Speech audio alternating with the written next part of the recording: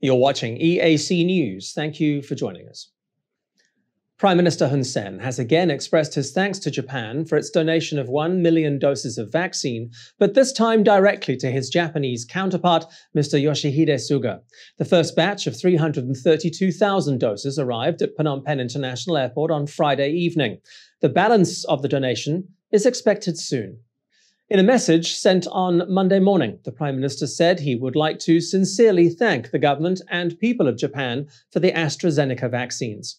He says the noble donation deeply reflects the long standing relationship and excellent cooperation between the two countries, significantly towards the implementation of Cambodia's COVID 19 vaccination program. Japan has provided more than $50 million in grant financing and approximately $230 million in concessional loans. The Prime Minister also highlighted other areas of cooperation between Japan and Cambodia, most notably development of the Sihanoukville Deep Sea Port and National Road 5. He says he was looking forward to working closely with the Japanese Prime Minister, especially at the Asia Europe Summit, which will be hosted virtually by Cambodia in November, as well as during Cambodia's chairmanship of ASEAN next year.